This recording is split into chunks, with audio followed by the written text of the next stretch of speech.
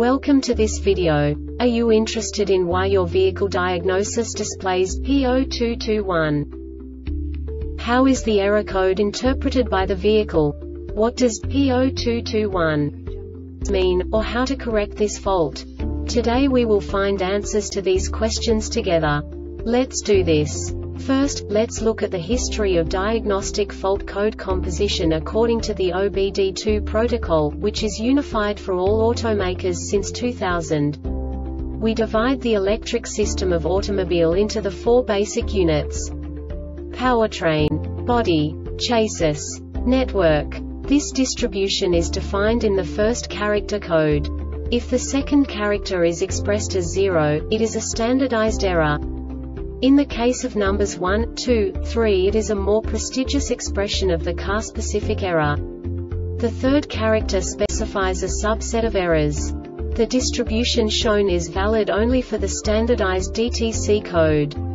Only the last two characters define the specific fault of the group. Let's not forget that such a division is valid only if the other character code is expressed by the number 0. Our website airbagreset.sk produces useful videos for you. You do not have to go through the OBD2 protocol anymore to know how to troubleshoot any car breakdown. You will find all the diagnostic codes that can be diagnosed in a Buick vehicles. Also many other useful things. The following demonstration will help you look into the world of software for car control units. You unbelievably can move the video a bit further. The error code is split into two bytes consisting of 16 bits. One bit is the basic unit that each computer works with. The bit has two logical states. 0, low level, 1, high level. By combining the first two bits, the basic character of the error code is expressed. The next two bits again determine the second character. The last beat styles of the first byte define the third character of the code. The second byte is composed of a combination of 8 bits. The first 4 bits determine the fourth character of the code. And the combination of the last 4 bits defines the fifth character. A single byte conceals 256 possible combinations.